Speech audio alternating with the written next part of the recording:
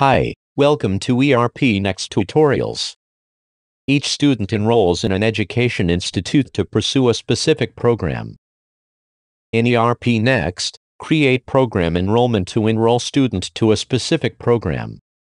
If student applications are also tracked in your ERP Next account, you will find option to create program enrollment from student's application itself.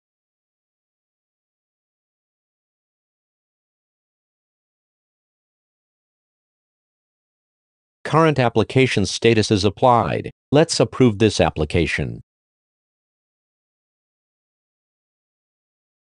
Once an application is approved, you will find option to create program enrollment for it.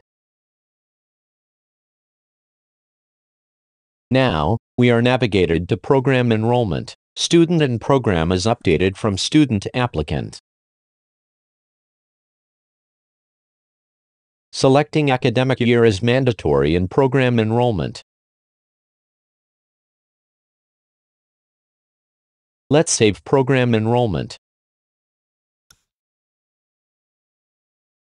New program enrollment is also created when existing students progress from lower program to higher program. Using Program Enrollment tool, you can create program enrollment in bulk.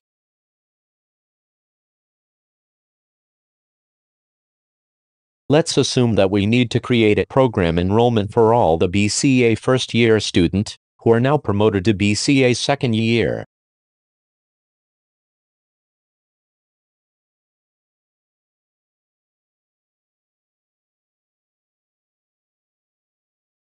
In the table, only keep students for whom we need to create a program enrollment for program BCA second year.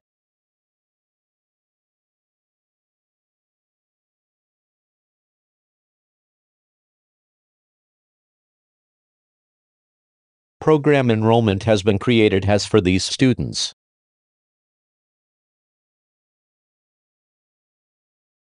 Program enrollment and draft are the ones created using Program Enrollment tool. After reviewing values, you can submit them. Hope you found this video tutorial useful. For more details and free sign up, check erpnext.com. Thanks for watching.